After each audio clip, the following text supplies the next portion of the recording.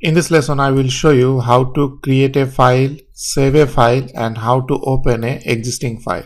To create the file you can go to file then new or from here directly you can create a new file or if I press ctrl N in my keyboard it will open this window to create my file.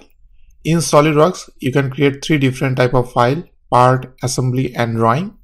If I want to create a part file I have to select this or if I want to create an assembly file I have to select this or for drawing this file. For now I want to create a part file so I will select a part file and then press OK.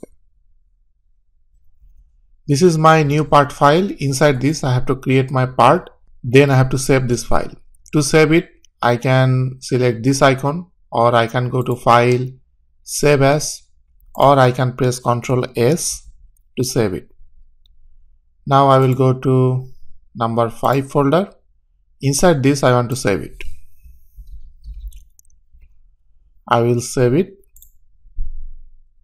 Now I will close it now if I go to file, you will see at the top in the recent document it is showing save.sld prt which is part file. If you want to know the location, you can select it here. Let's say I want to open some existing file. So I will go to open from here or from here.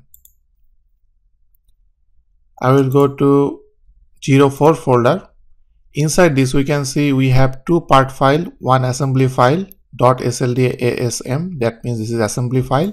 I will select this and it is showing me the preview on the right hand side. If you want to see this you have to select this then it will show you the preview. Now I can open it. It will open that assembly file inside SolidWorks. This is one way to open the file. I will go to open again this time I will open it but at the bottom you can see quick filter part assembly drawing and top level assembly let's say in your directory you have 50 part and 10 assembly if you want to see just only parts not assembly or drawing or any other file you have to select this first option filter parts. If I select it it will show me only parts. If I select assembly and part both together it will show me part and assembly only not any other file. Let's say inside it there are some imported part I want to open in SolidWorks. Let's say STP format.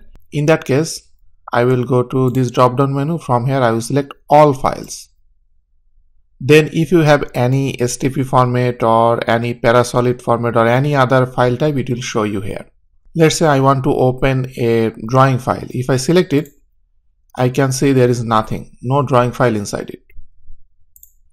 Last one is top level assembly. Let's say you have one assembly and two sub assembly.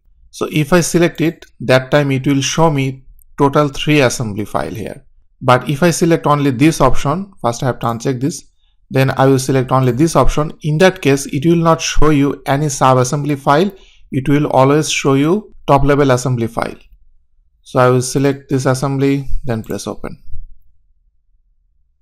If I want to close the file I can cross this here or if I press Ctrl W in my keyboard I can also close this or file then I will press close.